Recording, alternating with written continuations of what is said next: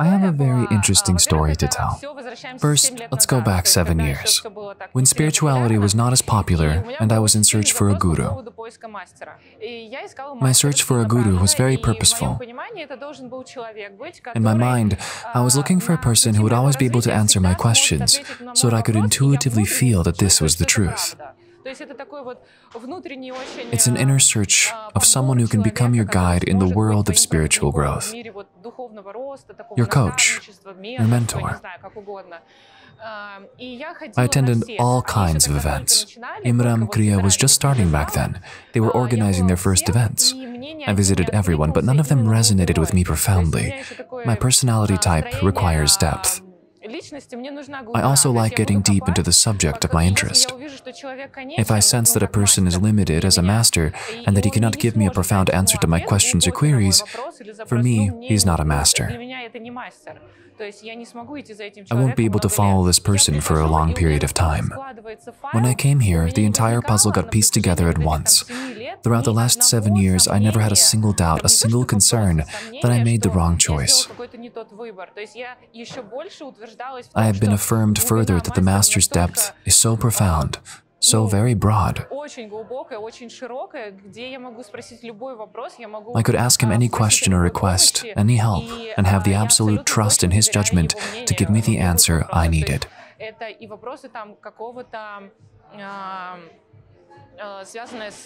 I'm talking about questions related to spiritual practices, life, family, work-related issues, communication with people.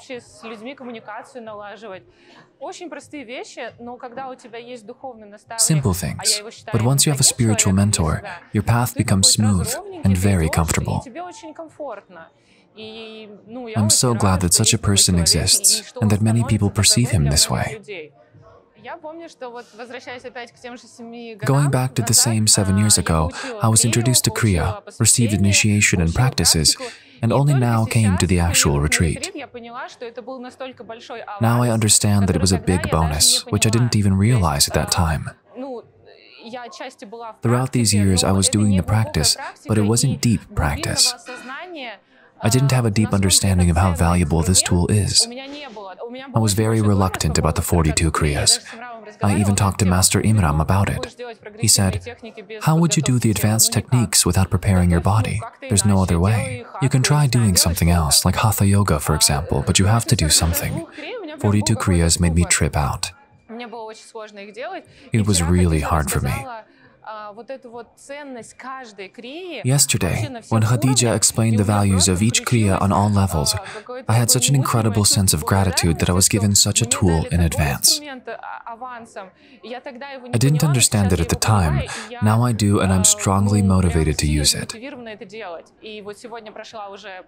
Doing the first energization session after yesterday's lecture was a completely different experience, a different experience altogether. Once you're fully engaged in the process, once you're focused and understand what you want, you have a toolkit that works effectively with your body. When you are absolutely focused, you are moving on. You have got it all. Everything is cool, superb. I felt that there were no barriers at all. You only have to set up the right goals and just do it. That's it. It took me seven years to figure this out. We get often distracted. I had a stage when I was practicing a lot and I wanted to attend a retreat. At that time, the retreats were held in India. I was planning to live in Sai Baba's ashram in India for a long time. I approached Master Imram. I was inwardly unprepared.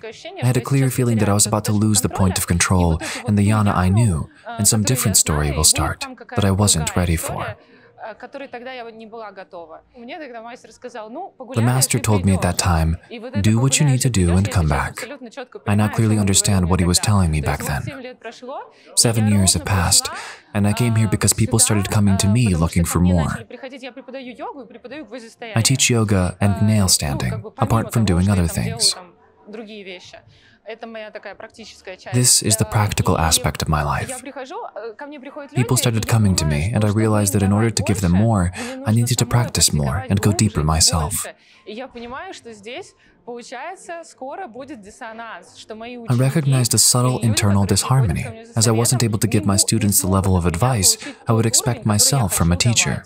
I felt I needed to get back to practice.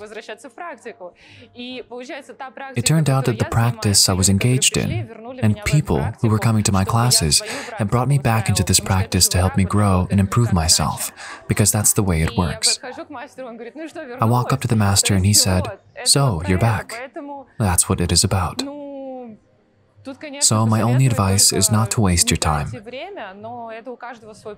But everyone has their own path. Dare to try it. I totally agree that if something comes into your life, it means you are ready for it. If the disciple is ready, the master comes. It is not so easy for this information to get to people. If a person wasn't ready to accept it or comprehend it, it wouldn't have come to them. So you should definitely try and form your own opinion. Don't listen to anyone else, form your own opinion. If it hasn't resonated with you now, well, do what you need to do and come back. Hopefully not in seven years. That's where we're heading anyway. These events, the ones that are happening in the world right now, can be described from different perspectives, as increases in the number of planetary vibrations. The events that shake us up, like coronavirus, conflicts between countries, they heighten our awareness and bring us into the realm of communicating with each other, of building family values. Right now, families and family values are collapsing globally. They are collapsing since there's no internal basis, no structure. Nowadays, everyone is going back to spirituality, to religion, because these are the values that create the foundation for us to build something on. So everyone starts looking for this. And it's good that many masters come forth to talk about the importance of spirituality. I hope that people find the answers to all their questions. Find the master who will become the strongest support for their own faith.